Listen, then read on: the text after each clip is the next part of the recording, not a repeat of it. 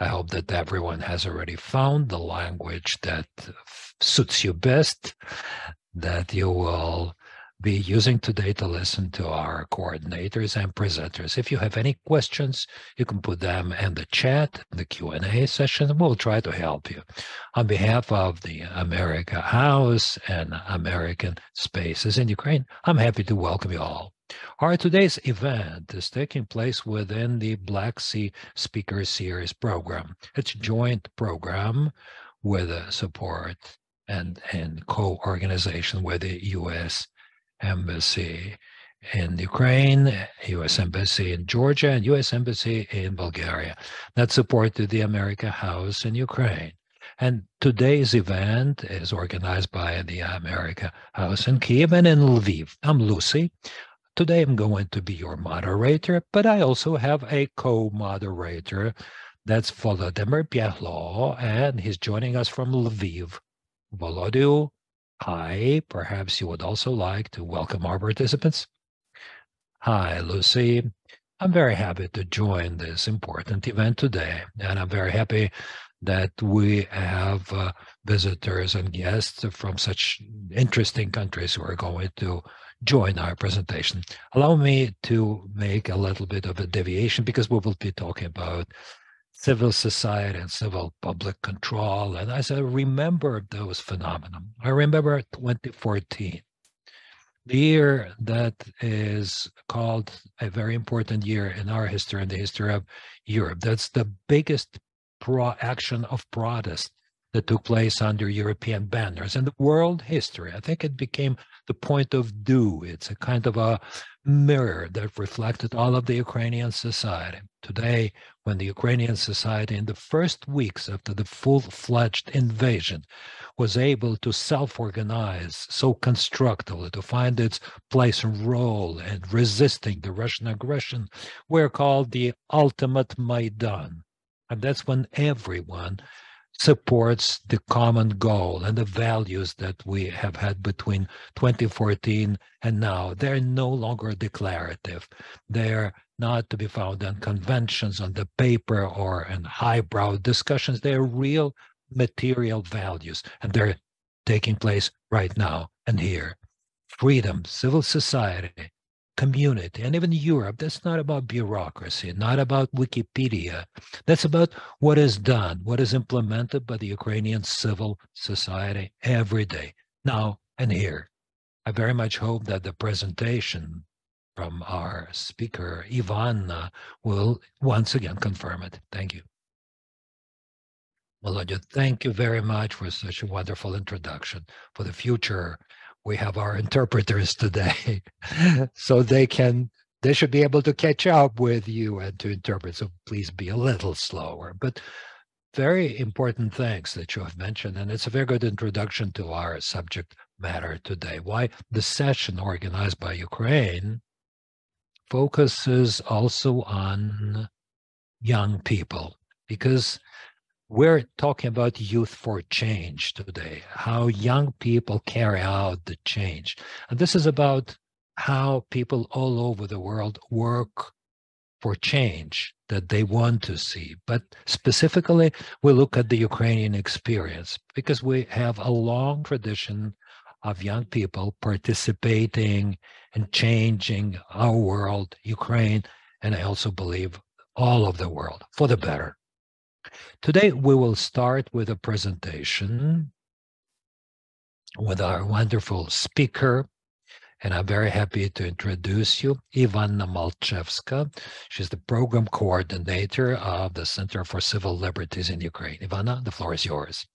Thank you. I'm very happy to join this project and tell you a little bit about how voluntary young youth community, Ozon, helps us defend the country that we want to see even today. I'm Ivanna Malchevska, coordinator of Ozon Public Monitoring Group, the initiative of the Center for Civil Liberties. We will talk today about how public control and volunteers and young people can help us preserve democracy on an everyday basis as they do very simple things. So let's start. The Center for Civil Liberties is a human rights organization that was founded by Helsinki groups, and the main objective of the center is to promote human rights. We help reform legislature, uh, legislation so that they convey with human rights. We teach people democracy, and human rights. We monitor the police, the courts, the uh, authorities, and we also engage rank and file people without any special education because we do believe that ordinary people have much more power than they can imagine. You all know that in 2022, the Center for Civil Liberties received the Nobel Prize, Peace Prize. And the Nobel Committee, in fact, uh, awarded that um, prize to the Ukrainian, Russian, and Belarus um, civil society organizations, because these people are a very good example of uh, how civil society work works in their countries. And the center received this award for human rights work and for being very active since 2014 in documenting war crimes committed by the Russian Federation. For us, getting the Nobel Peace Prize is not about you know friendship between our peoples. We're not brotherly nations. For us, this award, as Yevhen Sverstyuk said, famous Ukrainian dissident, that's about your and our freedom.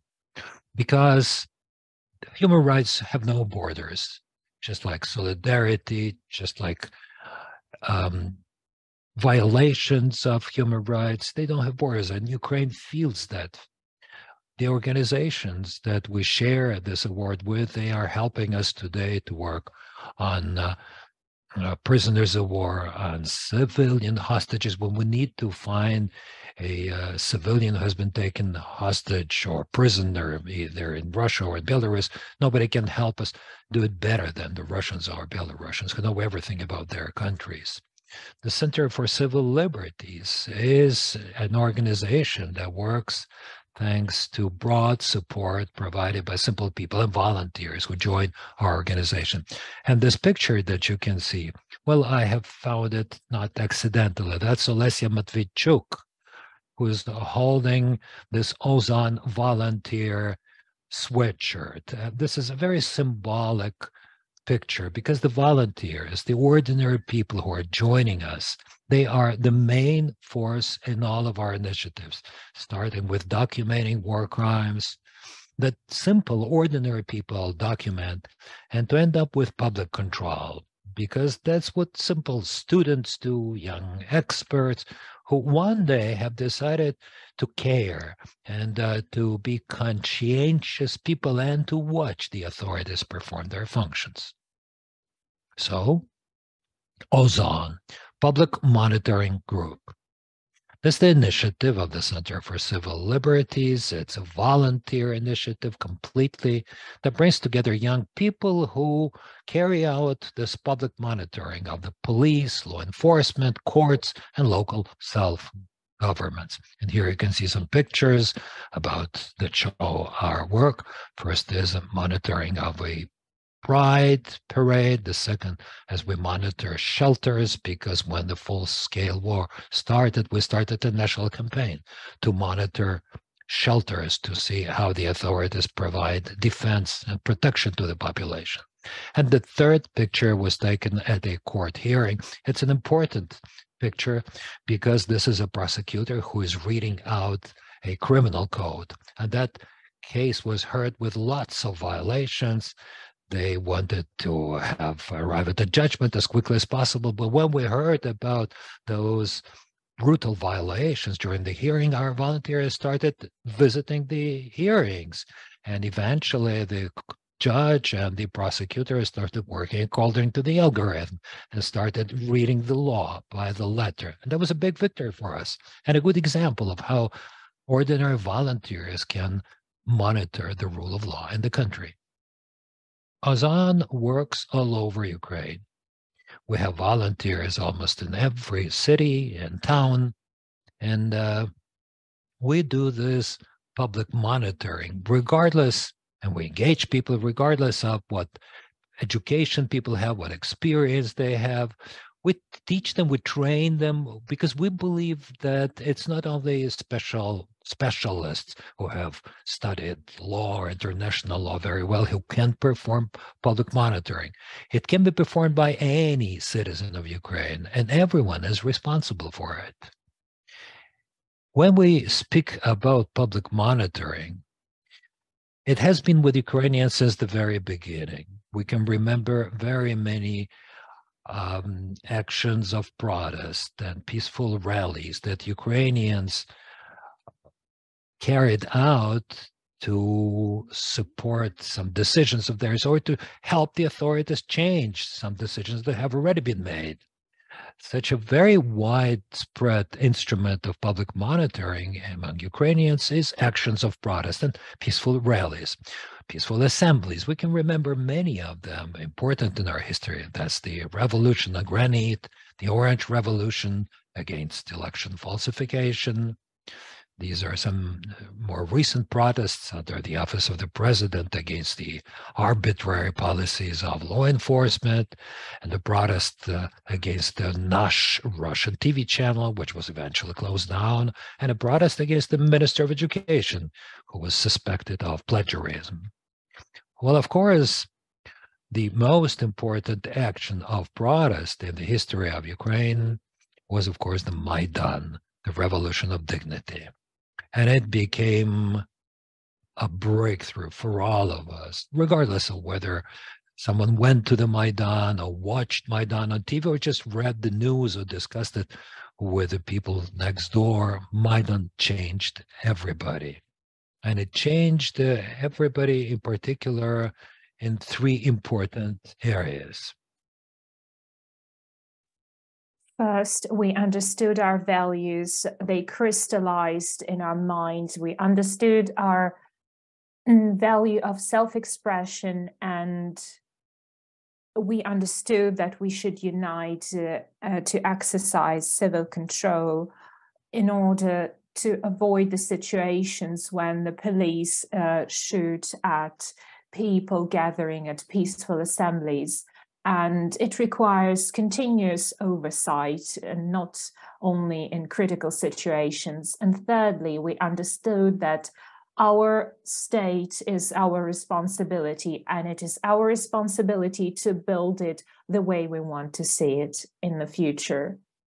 Oh, an outstanding example um, of uh, seeing how the people grow in Maidan we after Maidan was an activist and human rights defender, Roman Ratushny, a participant of Maidan. And after Maidan, he created an, an initiative group to protect uh, uh, the location in Kiev, Protasiv Yar, the green space.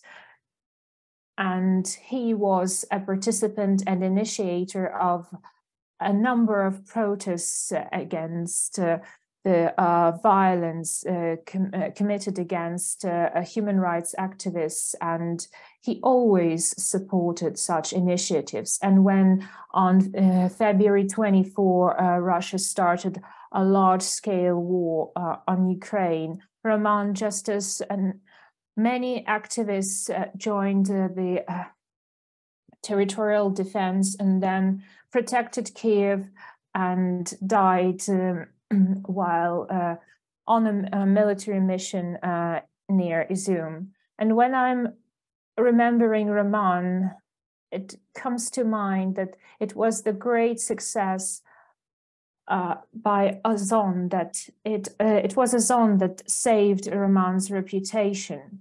And uh, it is this story that I want to share with you today. So one day, ordinary students um, went to monitor a peaceful assembly near the president's office.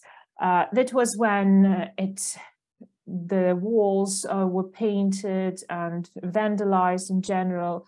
And it was our volunteers that recorded it, the, the um, all the damages that were caused and they uh, went home to write a report and in an hour or two after the end of the protest uh, we uh, saw uh, the picture online with a swastika on uh, and this was the start of a uh, of a huge uh, discreditation campaign against the protesters. And the whole all of the attention focused on why this protest started how activists uh, managed to draw swastika uh, on the walls of the president's office and our activists hurried to publish a report that when they were there and recorded it, there was no swastika on the walls. And it was uh, this report that became a powerful argument to protect the organizers of the protest and Roman Ratushny himself. Uh, and when Roman uh, came to Shuster Live uh, TV program, uh, it was the uh, Ozon monitoring group that documented that there was no swastika on the walls. And here I have a rhetorical question. Could you please tell if there were no our uh, volunteers, our uh, grassroots, independent observers, whether uh, the organizers of this uh, action uh, would have been justified? Another story uh, that testifies to the importance of the civil oversight is Kharkiv Pride. We taught volunteers how to monitor. We uh, shared the algorithms and told what the police uh, can and cannot do and how to document violations. And quite accidentally in 2019, the police decided to um, hit and commit violence against the participants of Kharkiv Pride, and uh, our volunteers documented it. This case went to court, and our uh, volunteers uh, testified. And so uh, it is our hope that the police officer who kicked the protester would be punished. So tell us, please, if there were no independent observers, would this uh, case be in court now? Another example is a uh, rather new one, how we work under martial law. You could see uh, the photos uh, of bomb shelters in Ukraine. The first two photos show uh, two completely flooded uh, locations in Kiev, uh, there is no uh, subway uh, in, in, those uh, neighborhoods. The third one shows the location that was locked up. So our monitors uh, go to those shelters and document such violations.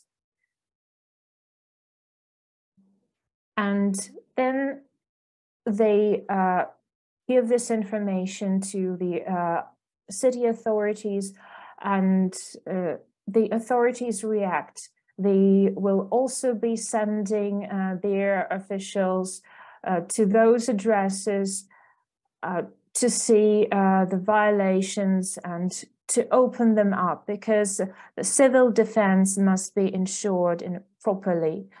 Another question again, if there were no independent volunteers, monitors, uh, that uh, hadn't recorded this uh, dire situations with shelters, would uh, the authorities take action and start uh, conducting checks and would that lead to positive changes? The question remains open. And all these examples are given to you to show the bottom line that is relevant for all Ukrainians, that public control uh, of the authorities helps keep um, the them in uh, the fr uh, framework of democratic and quality service, because it is the duty of the state to provide quality of life. So if you want to preserve and keep democracy, use public control. And if you see that your authorities fail you, then you must exercise public control because it is the uh, common duty of the citizens. This is all from me. Thank you for your introduction, for the general overview of your activities and such interesting examples of how uh, young people participate, engage, and take action. These are the things that every person can do, and we witness uh, changes. So you started uh, your uh, work as a volunteer. Yes, indeed, but regrettably, I uh, wasn't aware of Ozon's existence back then. So I joined uh, the local initiatives in Volyn Oblast, where I come from. But when I learned about Ozon, I felt the need uh, that uh, peace uh, in it, because peaceful assemblies uh, could be suppressed, then uh, police uh, could use violence against the peaceful protesters. And when I heard and learned about the things that people in Ozon do, I understand that, wow, this is something that all of us should do indeed, it's great that uh, we have such organizations where you can mm, join and find like-minded people to work together. I would just like to address our audience that uh, are with us remotely. Please leave your questions in our question and answer uh, section and we'll um, answer all of those and this is how uh, we will have a dialogue. And I now would like to give the floor to Volodya. Uh, first of all, this I had this uh, question about Roman and others.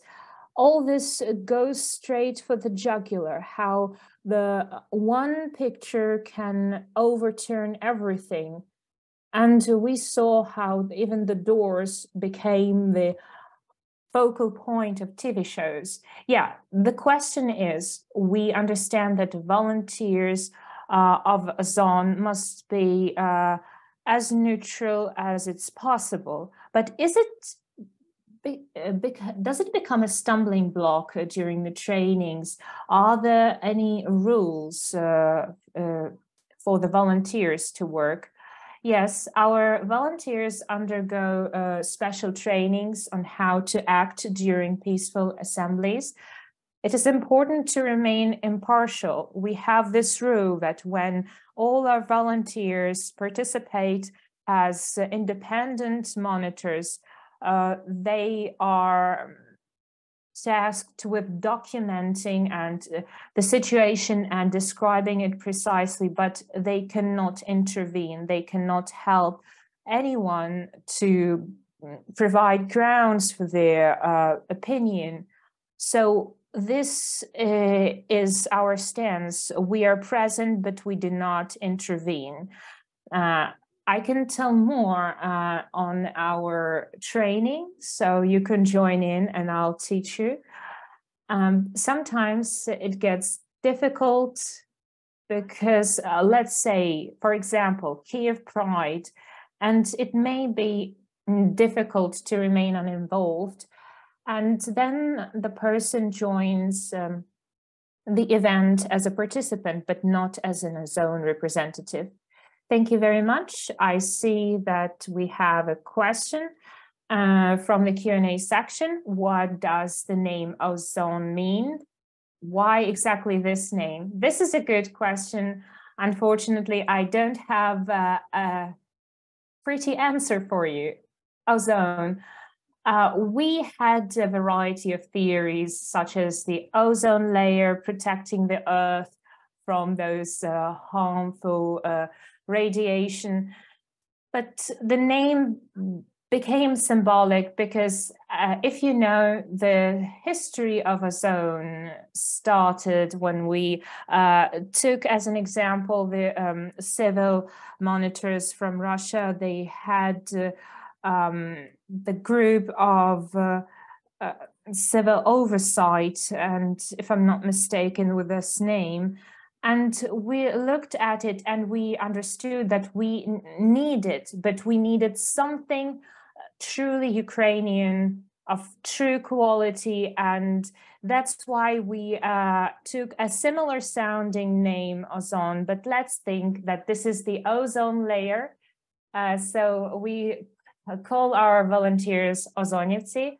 So the people who protect society from the abuse, from uh, a lack of quality in uh, public services through monitoring of uh, government activities. Uh, this is a truly inspiring story uh, that uh, speaks to us all and, can, and we can inspire to mm, be inspired by the activities in other countries and adapt it to our needs. And we have a question from the, our colleagues from Georgia, are there any requirements to people who become ozone volunteers? And another question from me, are there any international opportunities for volunteers abroad to cooperate with you? As for the requirements, um, again, you have to be conscious of your wish you have to understand why you want to be part of this civil control. And if indeed this understanding is uh, still flailing, then we will help you understand it better. You just need to truly understand that sometimes the activities and activism and volunteering takes up a lot of your time and also the monitoring of peaceful assemblies is a difficult thing and uh, sometimes you don't feel rewarded for it. But um, sometimes our volunteers stay and monitor for eight hours on end but you have to sort of um, remain there stay there. You cannot uh, go anywhere because you're responsible for it during these eight hours So yes, the most important requirement is to clearly understand one's work, to be ready to give your time for it. And as regards international possibilities, I know that in many countries, they have their own monitoring groups that perform monitoring of peaceful assemblies because the main objective of such groups is to make sure that uh, peaceful assemblies are free and this freedom would not be violated by counter assemblies who are against pride for example or by law enforcement or by the local authorities because sometimes they can also impose limitations so i would advise colleagues from Georgia to try to find such initiative groups in Georgia. But if not, you can always come to Ukraine and help us monitor the freedom of peaceful assemblies, the courts, and now to see how shelters are organized in Ukraine. Thank you.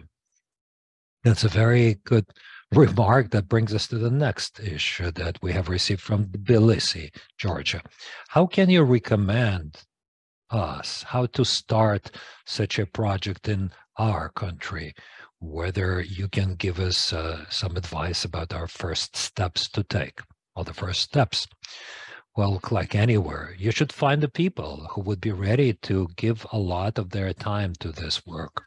Because any idea even the best one will definitely require resources and a lot of resources human resources emotional ones knowledge, you really need a lot of resources. Find people, find a team with whom you would be ready to do it. Find an expert who would help you from the outside to better understand where to move and how to present your initiative. And start with simple things. You know this rule the elephant should be eaten with in little pieces. So start with simple things. find a team, find an expert who would give you advice on the first steps, and start taking those small first steps. And if you need any expert assessment or if you need our experience with Ozon, are always happy to share our experience about how we started working back in 2013. So just write to us. If you don't mind, we have also a question from the audience in Lviv. Has anything changed in the war in the work of the courts and judges since the start of the war and the specificity of their work, or are you now paying most attention to the war crimes only? Well, no, court hearings keep continuing and they really focus a lot on war crimes and crimes against humanity. But the courts keep functioning. What has changed since the start of the full scale war? What we have noticed, and sometimes it was kind of funny, when there was a lot of shortage of electric power all over the country, the courts would not work, in fact. Well, they would have their agendas, you know, to say uh, what hearing would start at what time. But when we come to the courthouse to monitor the hearing to see how the courts would work during the war, the judges would not come to the court. The secretaries would not come to the court. There would be only the guards who would say, We have no electric power, so come tomorrow. That's what has changed. So they have become a bit relaxed, I would say.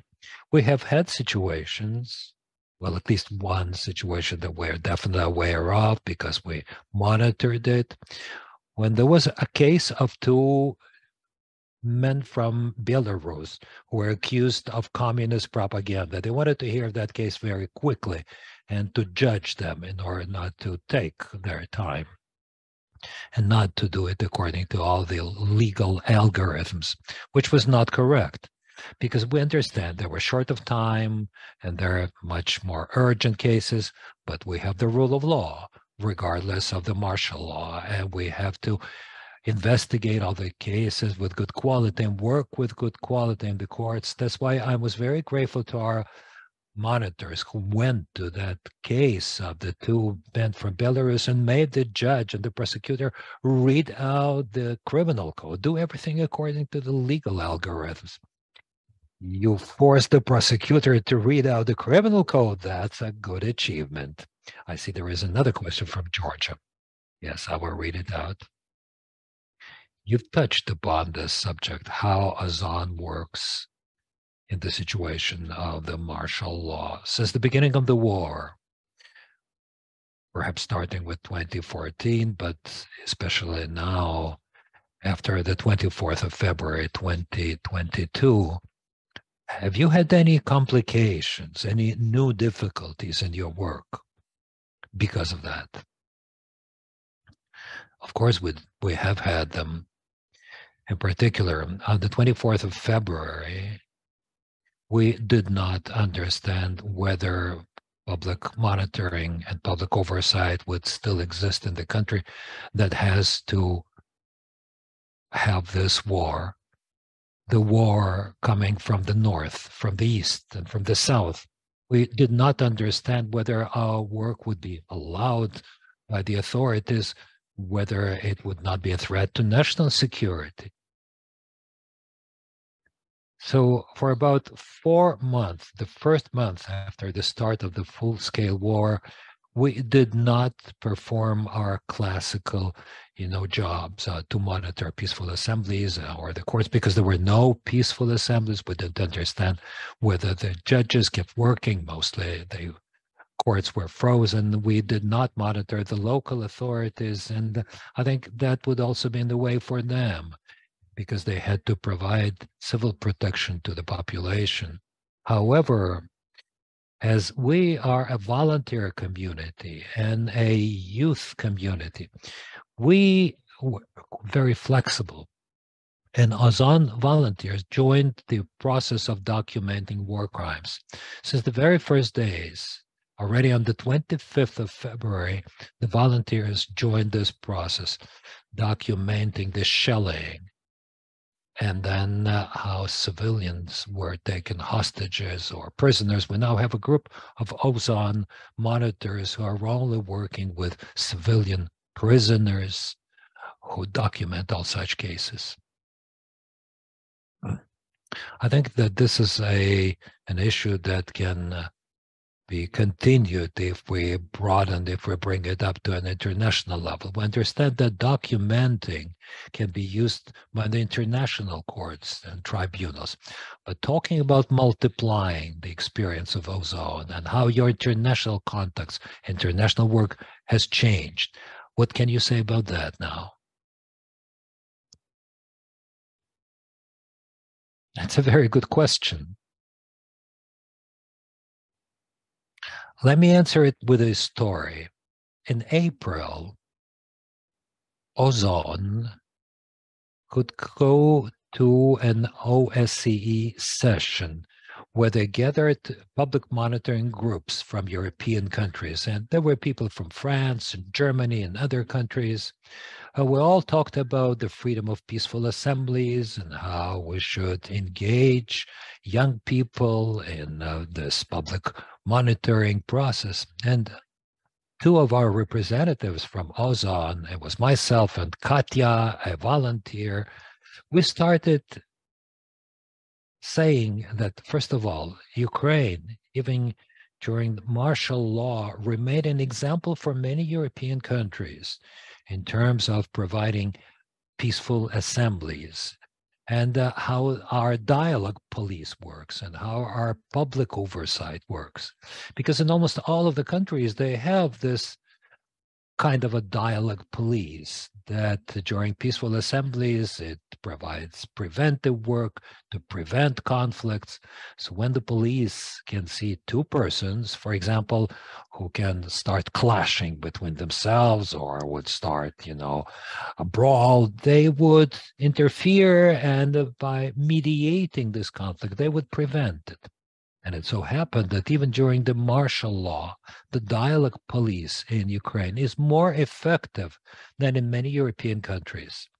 Because over there, the dialogue police starts communicating with the participants of the peaceful assemblies at the time when they're about to start clashing. And that is much more difficult to prevent such clashes. While our dialogue police works in such a way that, in fact, there are no clashes or fights, well, uh, except for such actions of protest that are very hard. What happened by the office of the president? Well, remember, the protesters would not be allowed to come close to the office. So that's about scaling up our experience. I think that many European colleagues have to learn lessons from our volunteers and from the dialogue police. And uh, we are always very happy to share our experience because violations of human rights have no borders. That's why solidarity has no borders, and we're ready to work with our colleagues from other countries. Thank you, Ivanna. We have uh, started speaking a little bit about what young people do in your organization in general. And uh, we've brought up such difficult subjects, especially when monitoring war crimes. And there is a question from our audience in Telavi, in Georgia. Do you have any age limit as regards the volunteers who come to you? No, we don't have an age limit, but historically, it has so happened that uh, the most active participants, the people who join us, are really young people at the age between 18 and 30 maximum. Now, when we have started monitoring civil defense, when we monitor the situation with the bomb shelters and shelters, we see that even older audiences ready to join our volunteers. And in fact, the oldest volunteer that we have today, she's 72 she is from the city of Chernihiv. But in general, Ozon is mostly a youth movement. But one important thing, the only limitation is you have to be of age. Well, I understand. Well, that's a very good story of your 72 year old volunteer. And that's a very good example about how different generations can work together for one goal. We have uh, more questions. A question from our colleagues in Tbilisi, from our audience. The question is What difficulties, difficulties did you have at the beginning of your work and uh, when you just started that work of ozon or when you would start some new activities. At the beginning of our road ozon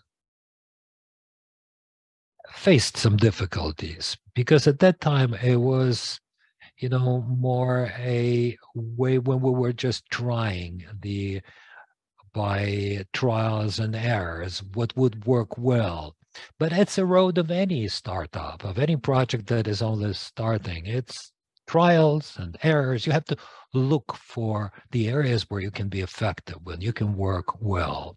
It's hard for me to remember a story of some difficulties, but what is easy to remember is our victories. When we first started monitoring peaceful assemblies and the court hearings, the trials and the effect of our presence really affected it, really affected the work of the police at the rallies, uh, really affected the work that judges and prosecutors behaved.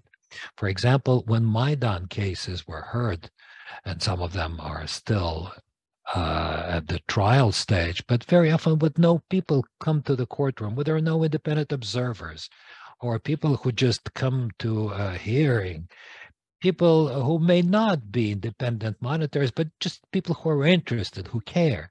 So when nobody comes to the hearing, then the judge may not give the floor to the uh, defendant or to the witnesses, and uh, sometimes, you know, work in an arbitrary way. But when ordinary people come to the courtroom, or where our volunteers come to the courtroom, then the hearing becomes completely different. The judge knows at once what one should do according to the law and how the case should be heard. And the prosecutor knows what to say, how to work. They know what criminal code is, what it says. That's why it is true. I think that uh, this public oversight, public control has more success stories in some more than problems. I can tell you how we started with the monitoring of civil protection facilities in Ukraine. Most of Ukrainians are engaged in volunteering, helping uh, the military, helping uh, to rebuild Ukraine, helping with the things. But the civil protection facilities, it is harder to engage young people in uh, monitoring of uh, shelters and sometimes there is misunderstanding on the part of uh, local authorities when they say that we did everything uh, really well why should we mon- uh, should we get monitored? So um, all this these things uh, they talk about national security and other things not to let us there. Now we're facing the situations where we cannot monitor the state of facilities in educational and medical institutions. Uh, the administrations did not let us uh, in because we don't have the right of access. And this is the difficulty we're trying to cope with. But this is the start of the dialogue with the uh, with the state, and this these are your expectations of what the state should provide. Uh, these things can be uh, smaller, and uh, this leads me to another question from the audience, because sometimes it can be just dangerous so, in these cases, are there any ways to convince monitors, uh, the volunteers, that they will be safe? Or maybe there are some practices how you ensure safety of volunteers? this is indeed an important question the safety of volunteers. In our activities, we are governed by the uh, OSCE practices, and we have key rules uh, that uh, are inviolable for everybody, whether it's someone with a lot of experience under their belt or maybe some uh, someone new. These are basic rules that can be used by everyone. This is the main thing. The monitoring is carried out by two or more persons. We uh, never go out alone. And even if there are peaceful assemblies and we are going to monitor them, and if we know that it will be hot and active, uh, and there might be fights, uh, we always uh, stay uh, in groups of two at least so that uh, we can help each other or signal that because two can cope with a difficult situation, dangerous situation a lot better than a person on their own we always uh, notify our headquarters. We do have a headquarters. The person uh, that knows uh, where we go, uh, who we are with, uh, we switch on uh, GPS services so that they know where we are. This is one thing that when some when the assembly is dangerous and when you may be taken in by the say by the police. It's not practiced here in Ukraine because we have a civil uh, control here, but these are the basic things that can save you. So you need at, uh, guidance from headquarters. If you're going somewhere dangerous, you should uh, have someone who uh, is always online, always keeping in contact, wearing headphones, and as uh, Georgian uh, colleagues uh, talked about their own initiative, if you're worried that uh, the activities of such an initiative could be dangerous for the volunteers, uh, you could engage uh, other um, public volunteers, civil rights activists that for example, if somebody wants to discredit you or um, your office will uh, be subject to searches, then yes, there will be someone uh, someone staying with you. These are uh, this is practical advice, but really effective. Um, so, uh, Volodya, maybe you could continue. I have a short question because when we're talking uh, civil control, we're talking control over uh, the government, as in the courts, administrations, the police. But uh, well, since uh, we are uh, on uh, the side of law, but uh, were there any cases when the when the Ozon had to protect that truth that was on the side of the government, on the administration? Yes, uh, that I need to think about it. Indeed, uh, what is happening today is quite an interesting uh, situation. So, uh, take for example the monitoring of shelters, um, uh, bomb shelters. So, when we first started it, uh, we thought that uh, we will be uh, facing uh, the uh, um, the authorities that it won't be the people living in those high rises and people, but in fact the authorities were uh, on our side, and the city administration, say in Ternopil, came to us and said that they were really grateful to us because they didn't have the um, uh, powers to exercise this control and to force uh, the those um, owners of the shelters to provide and comply with uh, the requirements. And this uh, this is uh, why we were on the side of the authorities because they can be um, uh, in a state property, communal property, or private property, because again, uh, no one can forces uh, can force those uh, owners to open them up, to arrange uh, them, and uh, and this is how we joined forces with the authorities to make these bomb shelters accessible to people. This, Ivanna, is a great example. And here we have the question from the audience. Are there any projects or um, activities uh, that your organization would like to start uh, with, but um, couldn't because of the current situation? As for Ozon, we uh, were really preparing uh, in March to monitor prides all across Ukraine in Lviv, Odessa, and Kharkiv, and Kiev. But regrettably, uh, we couldn't do it. We were halfway there. We even planned the trainings for uh, volunteers, and the first training was scheduled for March 1st. But um, regrettably, uh, it didn't happen.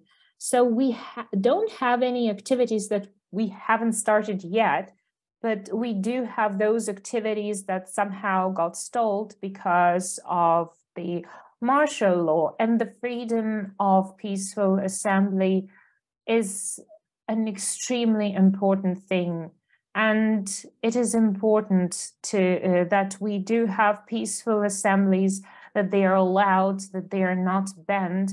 And we want to focus on this more and more and to show to our European colleagues uh, that uh, Ukraine remains democratic and independent uh, despite the martial law currently in place, and we ensure the freedom of peaceful assembly. And it is my opinion that uh, this is uh, the activities we want to uh, again take up again. As for the Center of Civil Liberties, uh, we are very flexible. We started documenting war crimes since 2013, and it went hand in hand with our project. But now this activity came to the fore, and we understand that how extremely important it is to document war crimes today. And when the conditions change, when we get more uh, freedom to do more projects, then we will launch them. But now we're focusing on the essential things. Yes, we do have a lot of work ahead of us. We have uh, a lot of questions. So young people come to you? Their parents do they come to you too? Are they against it? Do they uh, try to stop their children from coming joining to you? Uh, yes we do have parents who comment uh, our uh, our posts on facebook. They are quite supportive. Uh, another question are there any situations uh, when your volunteer somehow violated the rules or acted inappropriately. Uh, we do uh, we did have one case when during a peaceful assembly our volunteer um, uh, wasn't uh, impartial and uh, she um, again joined uh, the communication of the participants of the counter assembly. So and it was uh, again uh, and it happened that uh, she protected uh, she, the position of the mm, those who came to the peaceful assembly. And we again released a public statement. We um, apologized and we stated that we will further on remain unbiased and impartial Thank you, Ivanna. We do have a lot of questions and thank you to all our participants uh, for asking questions, but we need to wrap up. So uh, Volodya, the floor is yours. I have to ask this question from uh, Varna, Bulgaria. I think that everybody has uh, their own answer, and I think uh, this is a good finale how can we motivate young people to actively engage in the development of civil society? So, in your experience, from your experience, how is that possible? I think two options. First is to lead by example. I mean, quality example, maybe not the personal example, but example of other people. And the second is open communication, frank communication. What we did uh, did in 2014. This is our state. This is our responsibility. And if we want to have to have the state that uh, uh, embodies our our vision, then this open, frank communication with volunteers uh, encourages them to continue their work in other uh, volunteer organizations. Thank you very much. So go and do it. This is the bottom line. Uh, thank you, Ivanna. Thank you, Volodya. Thank you to our audience for tuning in and joining this important conversation. It was my honor and it was my joy to share this evening with you, to talk about Ozon, to talk about the Center of Civil Liberties, to talk about Ukraine, despite all the challenges and its young people continue to work for positive changes. And I invite you uh, for further uh, to further events, the Black Sea Speaker Series. Uh, I remind you that we uh, mm, work in uh, Georgia, Bulgaria, um, uh, and again, uh, we uh, work everywhere around the Black Sea. So see you soon and have a good day.